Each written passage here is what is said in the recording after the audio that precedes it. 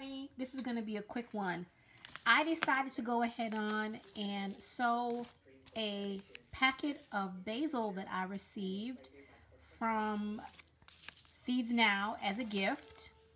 It is a Greek basil. Normally I plant the sweet basil every year in order to make pesto because I'm a really big pesto eater. And I have this little pouch right here and I'm going to start this pouch of Greek basil just to have some basil started. And in a few weeks, I'll be coming up on the last frost date and then I will plant some sweet basil directly in the garden. So I'm going to start this now and then I'm going to start this in a couple of weeks. So let's get this started. I have this little dish that I'm going to use. I'll show you what it looks like. You can get these at a restaurant store if you're at a restaurant and you're taking away uh, a small condiment. Sometimes they even put like corn in these little things. I have one of these that I got. I'm just going to add some rainwater.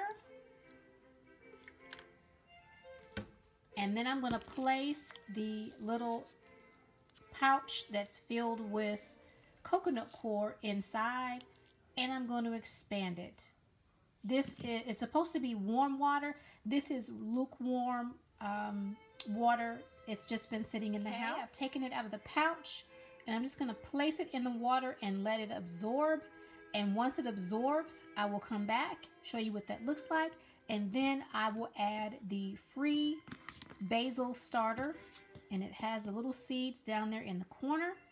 So I'll be right back. Now this is supposed to sit for about four to five minutes. It hasn't been about that long, but it's it's puffed up pretty big. You guys can see.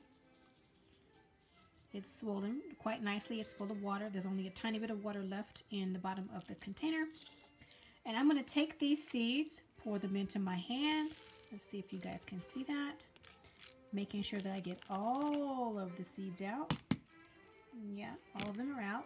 Can you guys see the seeds, how tiny they are? All right, now I'm going to place the seeds right into the center, hopefully into the center, if I can get them out of my hand.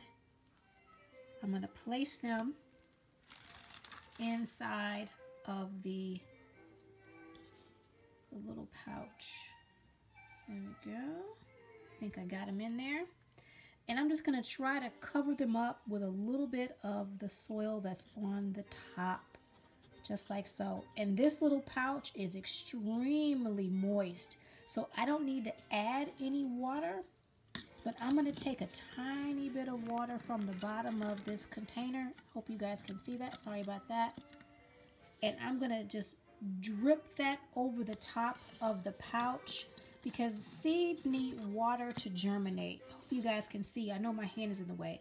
I'm just going to drip that water over the top like that to give those those seeds the best chance they can to germinate.